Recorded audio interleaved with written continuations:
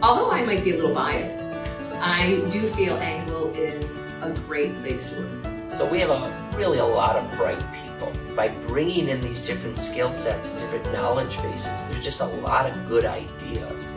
I think it's a collegial culture. I think we're here on first names. It's an open door policy.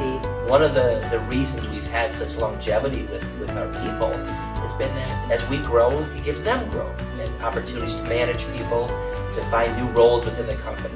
I mean, I really want people to come on into Anguil, see opportunity, see the ability that they have a chance to grow their career. That way, you're going to really develop a culture where people want to stay.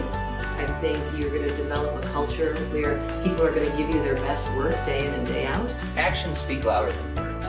You, you can put up signs in an office that say, hey, this is what we do, this is our values, but if, if you don't walk the walk and talk the talk, it, it doesn't matter. And it really starts at the top uh, with Deb and I. And we should work really hard, but you have to have fun. We make it a point to celebrate our wins. We bring in lunches. We have a whole hospitality team that puts things together and everywhere from a summer outside uh, parking lot party to bringing in food trucks. You know, one of our core values is family. We believe in family, but it's very important to us personally. And that's how I hope um, our employees think of us is we are. We are one big family and we wouldn't be where we are today without them.